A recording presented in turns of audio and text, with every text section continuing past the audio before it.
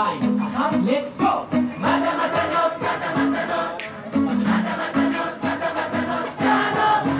אם יש דבר שעד לא מזמן אפשר היה רק לחלום עליו, זה שירת המונים.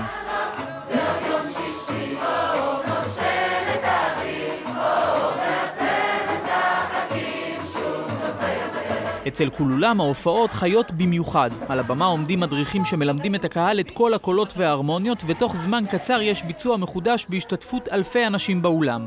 אפשר לשמוע,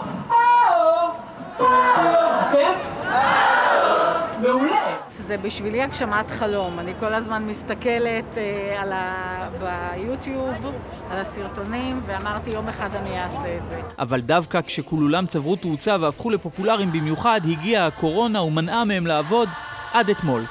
מתנות קטנות, מתנות קטנות, מישהו שלח לי מתנות קטנות. אז אתמול, עם ההקלות החדשות שסוף סוף הגיעו, ומהר לפני שמישהו בממשלה ייסוג גם מהן, כינסו המארגנים את המקסימום האפשרי, 250 אנשים, תחת כיפת השמיים, ועם מסכות כמובן. קצת חששתי כי זה הרבה אנשים, אבל זה... זה חוויה מאוד מגניבה. קורונה בכל מקום, אי אפשר לשבת בבית בבידוד. יש פה 250 איש, זה לא מכסה את העלויות של ההפקה.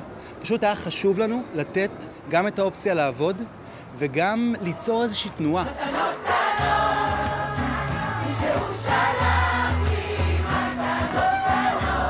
חוסר הוודאות עדיין כאן, אנשים עוד חוששים מהנגיף ובתעשיית התרבות מודאגים מהמצב הכלכלי, אבל הרגעים האלה מזכירים לכולם כאן מה כוחה של המוזיקה. הרווח שלנו במקרה הזה הוא ממש לא בכסף, הוא בנשמה. אנחנו זקוקים לזה, אנחנו צמאים לזה בנשמה שלנו, לתרבות הזאת ולביחד הזה.